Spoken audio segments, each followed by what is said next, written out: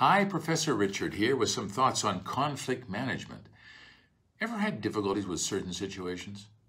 One of our students was complaining recently about the traffic in Sao Paulo. You know what that's like. It can be very frustrating at times.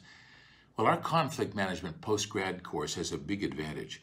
The science psychoanalyst Norberto Keppe and Claudia Pacheco developed called Analytical Trilogy.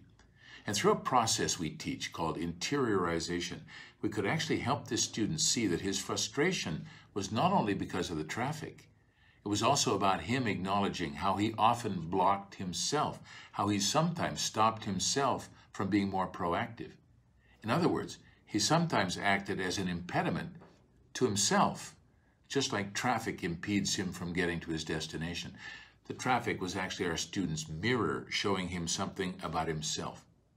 Well, that kind of awareness really helps us deal with difficult situations, maybe even solve problems we've had our entire lives. This is conflict management that works from the inside out. So if you have to deal with people challenges daily, this course will be an enormous benefit to you. And it's in English too.